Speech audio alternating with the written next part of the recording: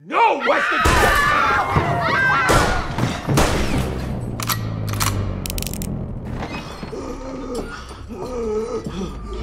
Damn you, Weston! God damn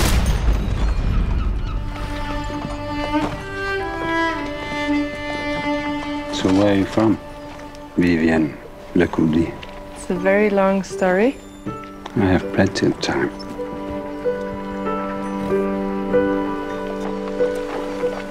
Why did you go to San Francisco? To see the end of the world. This is it? The place you chose of all the places you have seen. No flowers, no garden at all. You live like a dog. A happy dog. You have to tell me where you want me to plant your trees. You're still a dog. Can I have your attention, ladies and gentlemen? I am Sergeant Webb of the California Regiment. We need volunteers who want to fight to save the Union. We're looking for men of honor.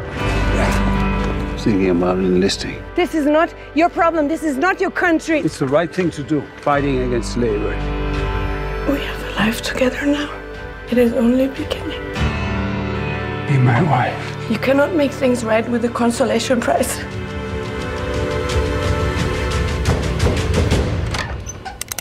No sense being all alone on a night like this. No different than any other. I am fine, Mr. Jeffries. No, you most certainly are.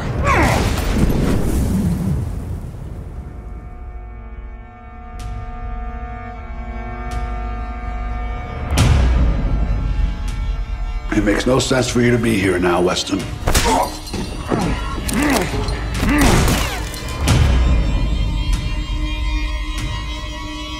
You're gonna be a problem, Mr. Schiller. I don't believe so, Alfred.